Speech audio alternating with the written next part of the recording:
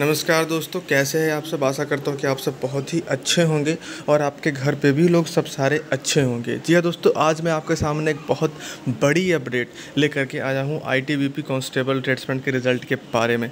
उससे पहले मैं आपका बहुत बहुत स्वागत करना चाहता हूँ हमारे इस चैनल पर। इस चैनल पर दोस्तों सिर्फ़ और सिर्फ़ आपको एग्ज़ाम की अपडेट्स, रिज़ल्ट की अपडेट्स और आने वाले एग्ज़ाम की अपडेट्स आपको हमेशा मिलती रहेगी।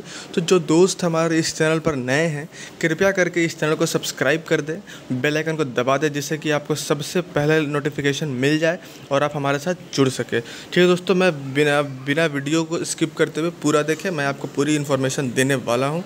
ध्यान से देखिएगा इस वीडियो को। जैसा कि आप सब देख सकते हैं दोस्तों I T B P constable result क्या दोस्तों, इसका जो एग्ज़ाम था, इसका जो एग्ज़ाम था वो 19 मार्च को हुआ था। जी हाँ दोस्तों 19 मार्च को इसका एग्ज़ाम हुआ था और उसका जो रिज़ल्ट था वो अप्रैल में ही आना था। लेकिन लेकिन अभी तक रिज़ल्ट क्यों नहीं आया और रिज़ल्ट डेट कौन सा है, अब मैं आपको वो बताने जा रहा हूँ। ध्यान से देखिएगा दोस्तों, ये देखिए। ये देखिए।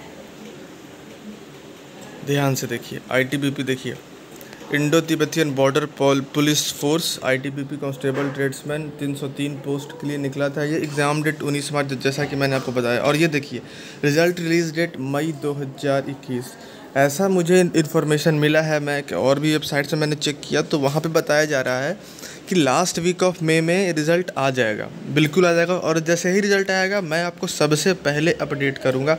सबसे पहले अपडेट अपडेट की ज़िम्मेदारी हमारी, आप हमारे साथ जुड़ जाएँ जिससे कि जिससे कि आपको सबसे पहले नोटिफिकेशन मिले और आप जिस चीज़ का इंतज़ार कर रहे हैं, आपका जो इंतज़ार है वो ख़त्म हो। जैसे ही आएगा, जैसे कि दोस्तों आप सब देख सकते हैं दोस्तों ऑफिशियल वेबसाइट्स पे भी आप जा कर के चेक कर सकते हैं, नहीं तो मैं हूँ आपके साथ, मैं आपको हमेशा अपडेट करता रहूँगा। वीडियो को लास्ट तक देखने के लिए धन्यवाद दोस्तों। अगर आपको वीडियो अच्छा लगा तो चैनल को सब्सक्राइब कर दीजिए बेल आइकन को दबा दीजिए, जिससे कि आप हमारे साथ जुड़ सके और मैं आपको हमेशा नोटिफाई करता रहूँ। धन्यवाद दोस्तों, जय हिंद।